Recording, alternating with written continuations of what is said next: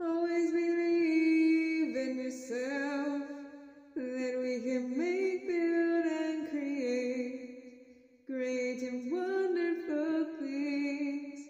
We are the change.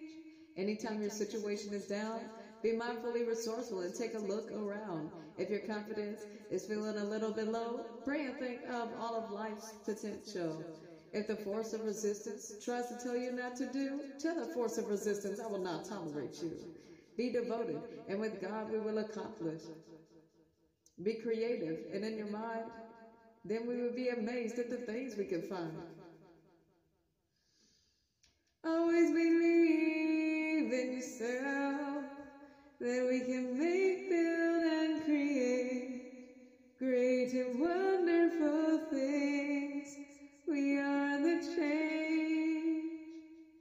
always gather the materials to see what we can put together.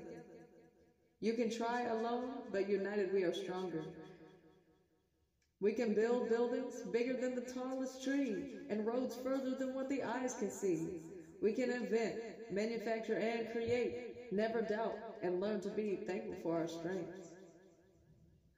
Always believe in yourself that we can make build.